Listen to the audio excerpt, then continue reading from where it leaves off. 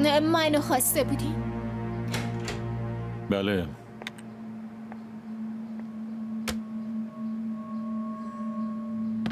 فکر می‌کنم دیگه نمی‌خواین تو شرکت کار کنم. حق با شماست من واقعا درکش می‌کنم. بعد از همه این اتفاقا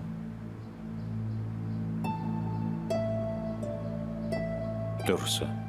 اتفاقای زیادی افتاد رولا. بفرما بشین.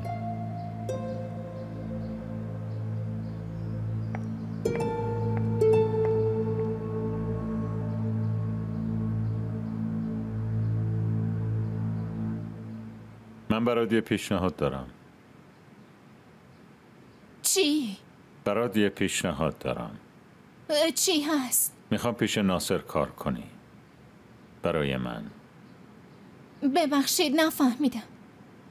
می‌خوام بری شرکتشون و بهشون بگی چطوری اخراجت کردم و حرفای خیلی تندی بهت زدم. بهت اهانت کردم. جلوی کارمنده اخراجت کردم. هر چی دوست داری بهشون بگو. تا جایی که به مرحله رسیدی که دوست داری با هر روش ممکنی اذیتم کنی. باشه؟ بفرما رولا.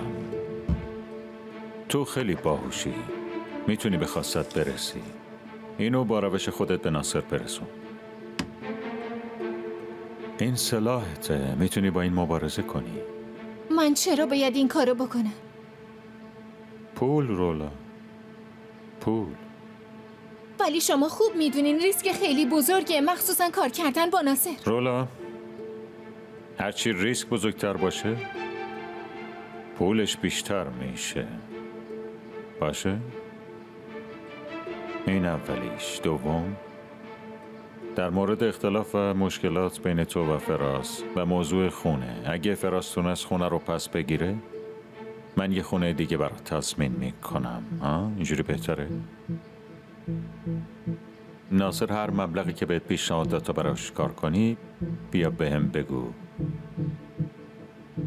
هر چقدر داد من بهت دو برابرشو میدم حداقل سمت درست داستان باش.